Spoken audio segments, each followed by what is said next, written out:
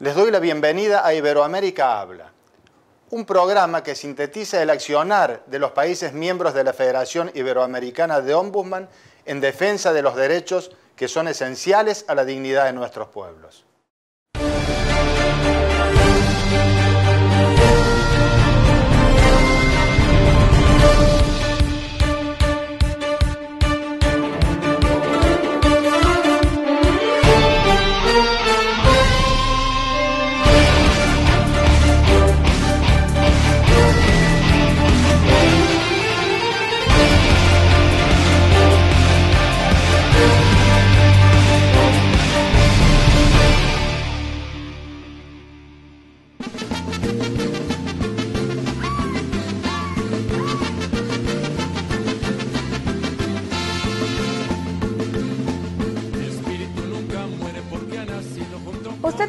Preguntará, ¿qué hace este hombre mientras aplica toda su concentración y esfuerzo en la confección de este artículo? ¿Quién es? ¿En dónde trabaja?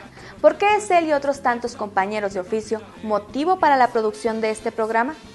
La respuesta a estas preguntas la tendremos hoy aquí en Iberoamérica Habla en un programa que ha sido dedicado a la Defensoría de los Habitantes de la República de Costa Rica, en donde en voz de su defensora Ofelia Teitelbaum descubriremos cómo algunos miembros de la comunidad de aquel país trabajan activamente para garantizar el derecho al trabajo y a una vida digna a los internos en los penales del Estado.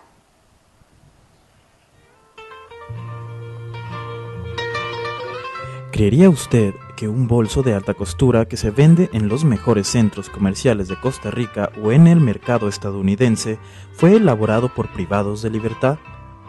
Aunque a algunos les parezca imposible, lo cierto es que un grupo de personas que buscan un proceso de reinserción a la sociedad trabajan en Costa Rica en la elaboración de productos de alta calidad.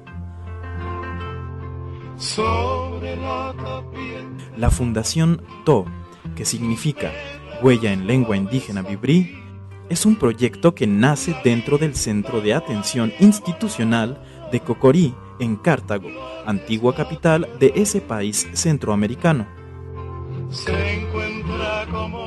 Dos empresarios costarricenses, Daniel del Río y Livia Gutiérrez, iniciaron una pequeña compañía que permite a los privados de libertad entrenamiento en el campo de la marroquinería es decir, el manejo del cuero. La propuesta evolucionó y se transformó en Red Letter, empresa sin fines de lucro que comercializa la marca To. En total, confeccionan 150 estilos de producto. La empresa mensualmente comercializa alrededor de 1.300 productos. Cada trabajador recibe una remuneración con base en su producción que le permite apoyar económicamente a los familiares pese a estar privado de libertad. Ello abre las posibilidades a una reinserción de los privados de libertad, brindando así una oportunidad de reincorporarse a la sociedad.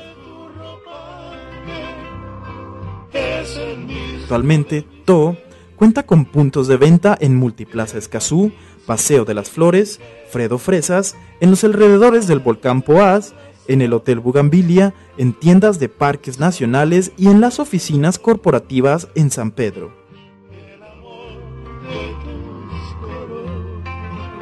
A nivel internacional, la empresa vende en Alabama y Nueva York, en los Estados Unidos, y se está a la espera de su distribución en Holanda. La mayoría de la materia prima utilizada en la elaboración de los bolsos se compra en Costa Rica. Lo que no se consigue en el país se importa desde México, Colombia y Escocia, entre otros países. Los herrajes son los mismos que utilizan las grandes marcas en Europa y los forros internos se fabrican en El Salvador. El sistema ha probado ser útil y exitoso de 50 muchachos que han egresado del proyecto y ahora gozan de libertad, ninguno ha reincidido. Actualmente, en el proyecto laboran 22 personas. La intención de Fundación TO es que en seis años se alcancen la cifra de 800 privados trabajando en la confección de estos productos.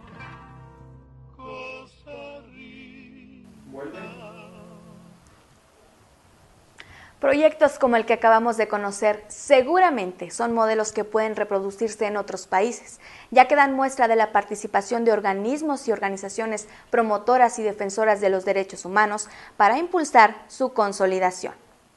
Pero para hablar de ello, tengo en videollamada a la defensora de los habitantes de la República de Costa Rica, Ofelia Taitelbaum, a quien le pregunto. Señora defensora, ¿Obedece este proyecto las obligaciones del Estado para fortalecer las buenas prácticas que promueve la sociedad civil? Efectivamente, los proyectos exitosos como los que observamos en esta oportunidad con personas privadas de libertad obedece al apoyo que recibe el Estado de empresas privadas para abrir ventanas de oportunidades a la población en materia de empleo. Sin embargo, hay muchas otras iniciativas que impulsa la sociedad civil y que muchas veces no se visibilizan como deberían ser para que la gente las conociera.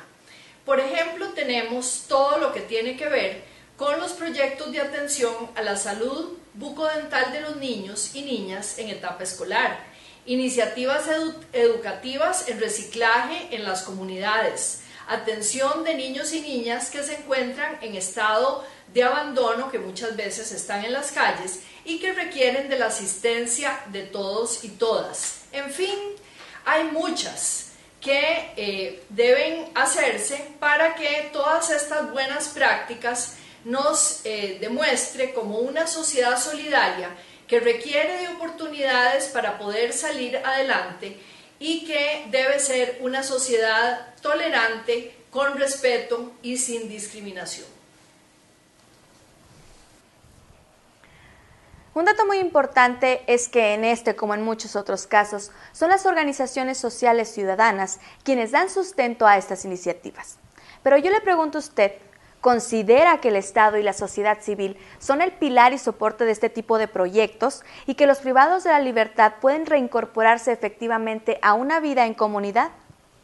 Hoy un grupo de privados de libertad de Cartago, provincia de Costa Rica, tiene esta oportunidad y la están aprovechando para elaborar productos de altísima calidad que incluso los impulsa a reflexionar que pueden ser personas altamente productivas para un país que requiere de ellos para avanzar económicamente y socialmente. Aquí el trabajo del Estado y sus instituciones son fundamentales Imagínese usted que el trabajo que realiza esta población privada de libertad es digno de admiración, precisamente porque existió el apoyo decidido de empresas privadas, quienes en conjunto con la labor que efectúa el Ministerio de Justicia en Costa Rica, permite que estas personas aprendan una actividad laboral que puede asistirles económicamente a ellos y a sus familias mientras se encuentran temporalmente recluidos en los centros penitenciarios. Esto es fundamental porque el trabajo dignifica y sin duda dignifica a esta población y los hace sentirse útiles a la sociedad.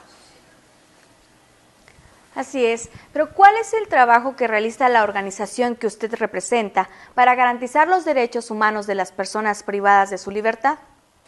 En la Defensoría de los Habitantes contamos con el Mecanismo Nacional de la Prevención contra la Tortura, el cual constantemente está haciendo visitas a los centros penitenciarios del país para conocer los problemas del sistema e informarlo a las autoridades competentes. Esto hace que tengamos una relación de comunicación permanente entre todos los actores involucrados, Defensoría, Gobierno, Estado, población privada de libertad. Claro, claro está que hay mucho por hacer en este tema en materia de hacinamiento y sobrepoblación, pero seguimos trabajando para lograr que las cosas mejoren en beneficio de todas y de todos.